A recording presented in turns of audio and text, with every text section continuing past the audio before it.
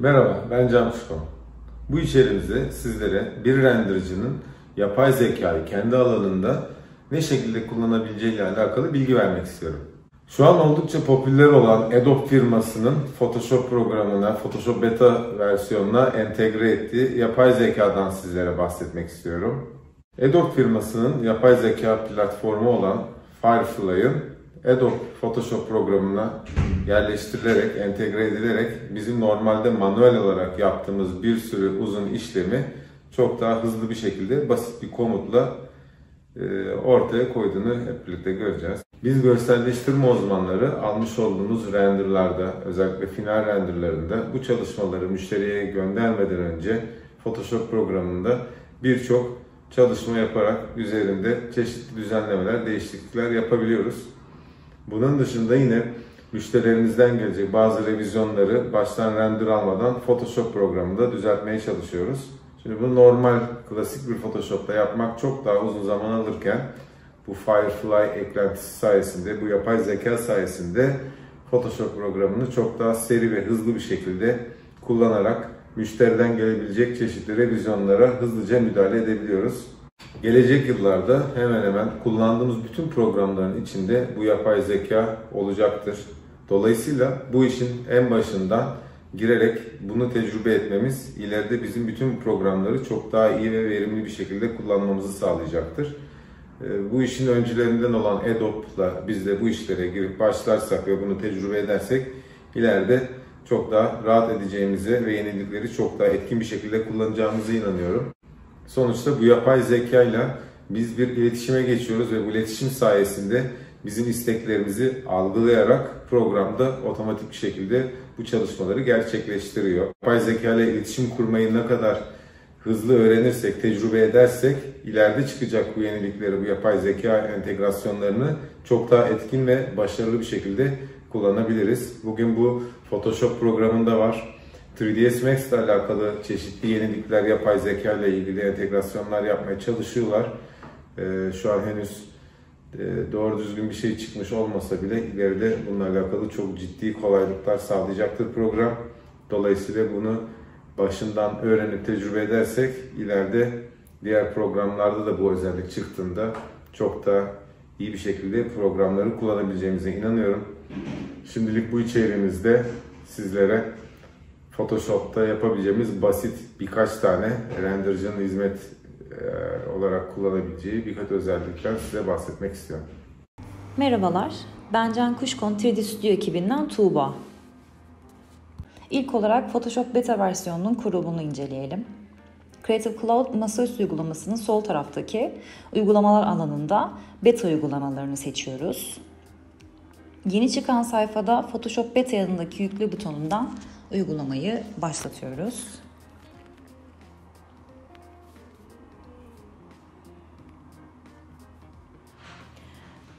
Bu arada ürünün 7 günlük ücretsiz bir sürümü de mevcut. Onu indirip e, deneyimleyebilirsiniz.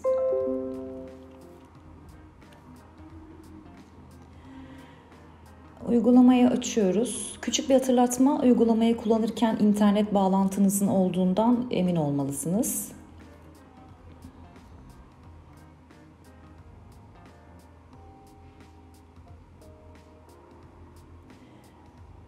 Çözünürlük ve piksel kaybı yaşamamak adına özellikle PNG formatındaki e, bir dosya ile çalışmayı tercih edebilirsiniz.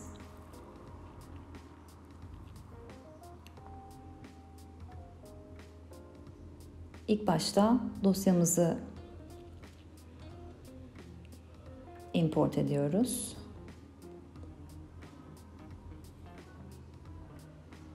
Girişte bizi yapay zeka destekli generative fill e, yani üretim dolgusu olarak çevirebiliriz. Anlatan mini bir bilgilendirme videosu çıkıyor. Biz uygulamanın ilk olarak nesne oluşturma, değiştirme yeteneklerini inceleyelim. Araç çubuğumuzdan seçim aracını seçiyoruz. Bu seçim alanı eklenilecek nesnenin boyutuna da referans olacak. Buna dikkat etmeliyiz. Seçimden sonra generative fill'i seçip eklemek ya da değiştirmek istediğimiz nesne ile ilgili olabildiğince basit bir dille komutumuzu giriyoruz. İngilizce olarak giriyoruz. İlk girdiğimiz komut add a dog. Şezlong üzerine bir köpek nesnesi eklemek istedik. Bu arada generate ederken çok kısa, e, hızlı bir şekilde bize sonucu veriyor. Bu oldukça önemli.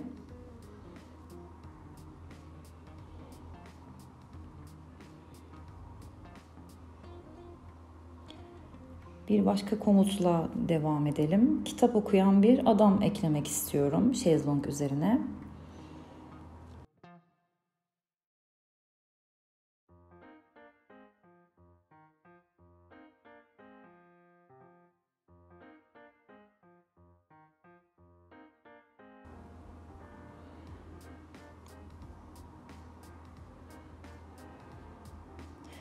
Dikkatinizi çektim bilmiyorum. Görselle mükemmel bütünleşmesi haricinde renderımızdaki güneş gölge açısıyla uyumlu olarak yeni nesneyi gölgelendiriyor. Bu da harika bir özellik. Farklı olarak güneşlenen bir kadın ekleyelim. Bunun için de yine basit bir kelime seçiyoruz. Evet, sunbathing a woman diyebiliriz. Varyasyonlarına da e, sağ tık veya sol tıkla bakabiliyoruz, ulaşabiliyoruz.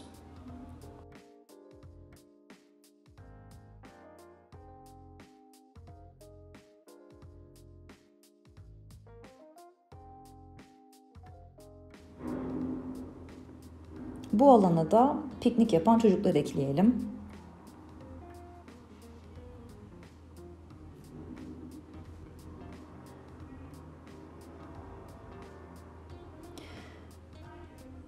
Benim dikkat çekmek istediğim bir özellik daha var aslında. Ee, her girdiğimiz komut ayrı bir katman olarak kaydediliyor. Bu harika bir özellik. Katmanlarımızı tekrar düzenleyip yerlerini değiştirebiliyoruz ya da tamamen silip kaldırabiliyoruz ve ana görselimizde herhangi bir değişiklik olmuyor. Şimdi ağaç üzerine bir sincap ekleyelim. Hatta yürüyen bir sincap ekleyelim. Generative filimizden generate seçtik. Cümlemizi yazdık. Komutumuzu generate edeceğiz.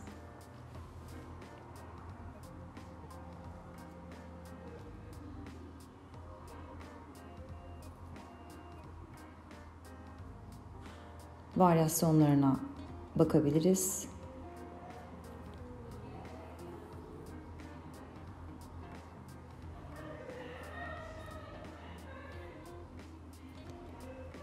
Şimdi seçim üzerinden nesneyi değiştirme ile alakalı komutumuza bakalım. Ağacı seçim üzerinden daha detaylı bir şekilde seçiyorum.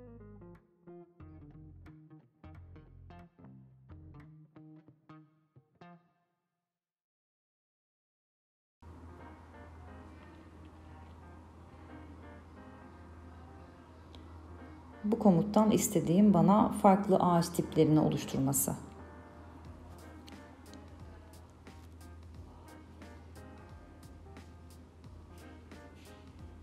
Varyasyonlar bu şekilde.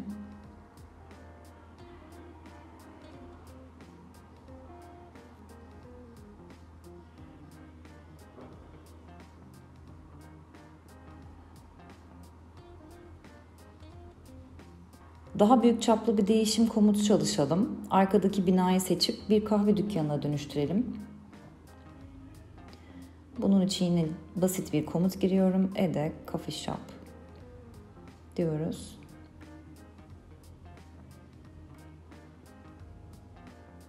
Sonuç gayet iyi görünüyor. Varyasyonlarımıza bakalım.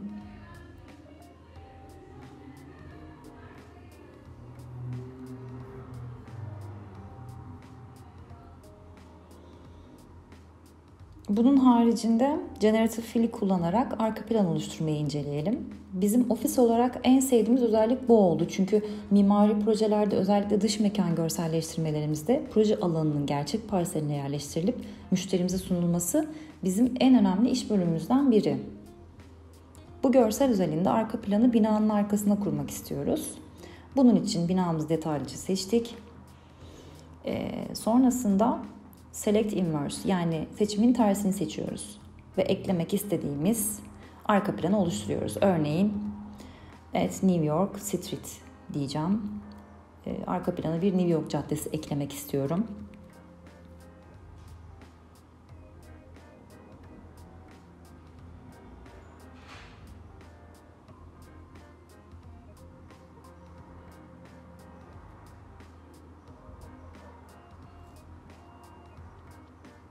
Varyasyonlarımıza bakalım tekrardan.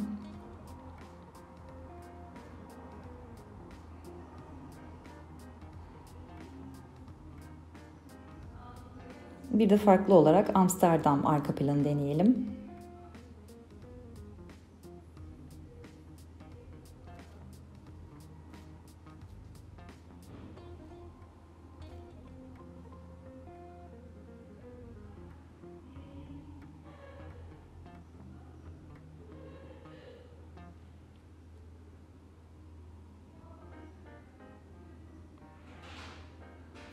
Bir başka özelliğimiz görüntüleri genişletme. Bunun sonucuna biz çok şaşırdık. Sizlerle de birlikte deneyelim. Crop kırpma aracını seçiyoruz. Ardından kenar köşelerden çekerek çalışma alanımızı istediğimiz kadar büyütebiliyoruz. Görselin durmasını istediğiniz yer tamamen size kalmış.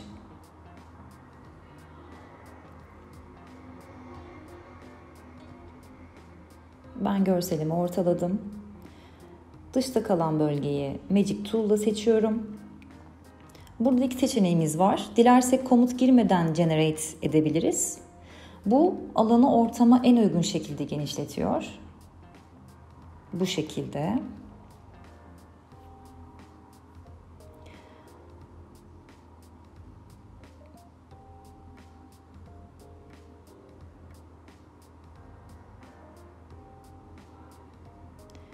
Bir diğer seçenek de arka plan oluşturmaya benzer olarak hayal ettiğimiz alanla uygun olarak görseli genişletmesini deneyelim. Biz Central Park'ı kullandık. Varyasyonlarımızı inceliyoruz.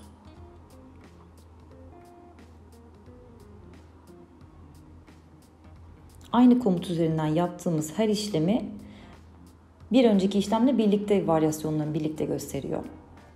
Son temel komutumuz nesneyi silme komutu. Her komut aslında aynı tek bir tool üzerine ilerliyor. Bu da aynı şekilde.